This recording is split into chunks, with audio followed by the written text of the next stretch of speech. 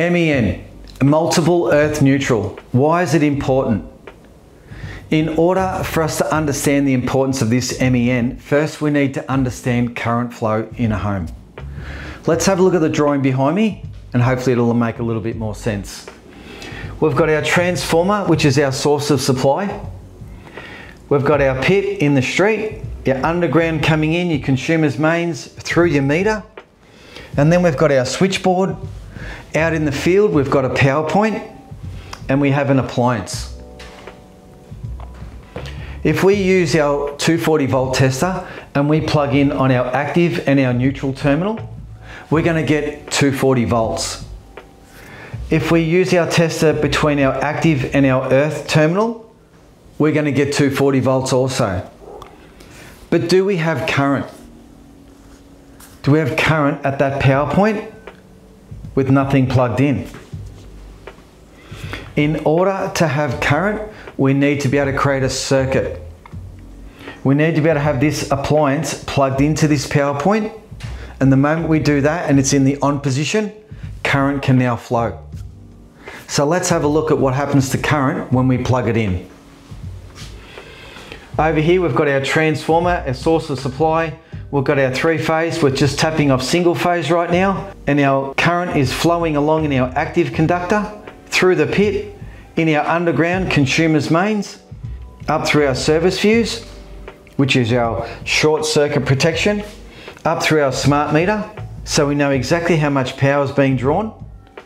It will move along through our main switch, which is our overload protection.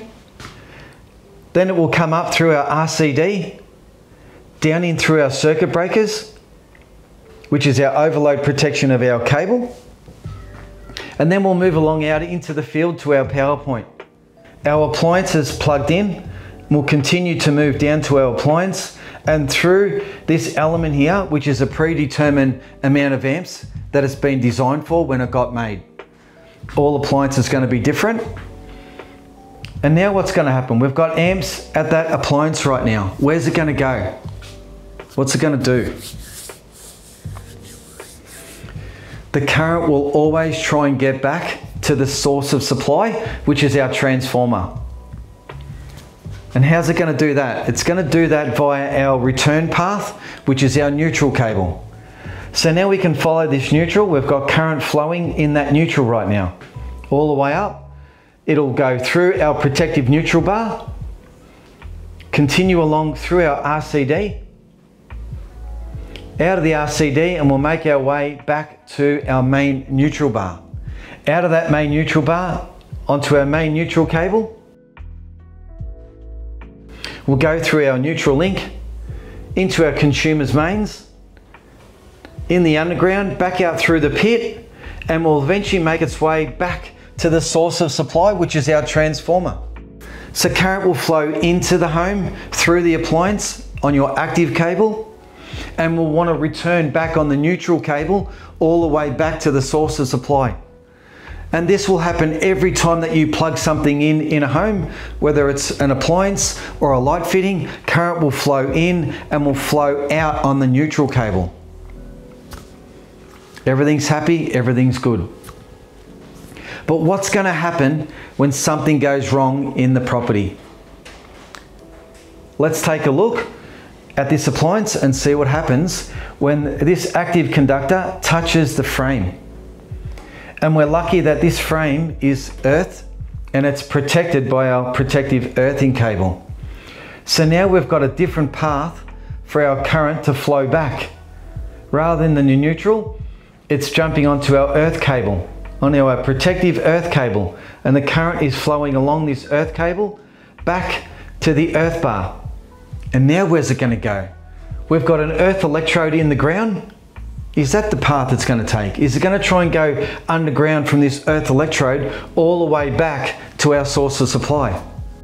It will take too long that way and there's too much resistance in the ground to actually go back to our source of supply that way. The way it will go is via this cable that's linked between our earth bar and our neutral bar.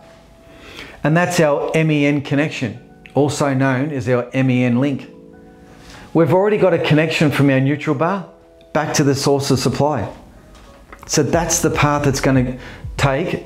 So let's follow it along now. So now our fault current is going to jump onto the neutral after it's gone via the MEN and it's going to continue along the neutral through the MEN link back in the underground through the pit and will make its way back to the source of supply via this MEN as quick as possible. But why? Why do we want it to go back? Why do we want to create another path for current to flow when there's a fault? The main reason we do this is so that our protective devices can do what they're supposed to do. So we have automatic disconnection of supply. Whether it's a safety switch and the safety switch has detected an, an imbalance of supply, it's got earth leakage running along the earth wire, it hasn't returned in the neutral, it's an unbalance, it's gonna trip off. If this appliance is only protected by a circuit breaker, and we've got that active conductor touching the frame, then that's going to be a short to earth. It's going to ramp up so much current because it's, it's not going to just draw a predetermined amount of current right now. It's going to draw more current than what that circuit breaker is, wants to give out. And that's why that circuit breaker will, will trip off. So the whole reason of that MEN link is to get all our fault current of all our protective earths right throughout the installation back via that MEN link into that neutral cable, back to our source of supply so that our automatic disconnection of supply, the safety switches or our circuit breakers can trip off. One, for the prevention of electrocution and also the prevention of fire. Hopefully that makes sense.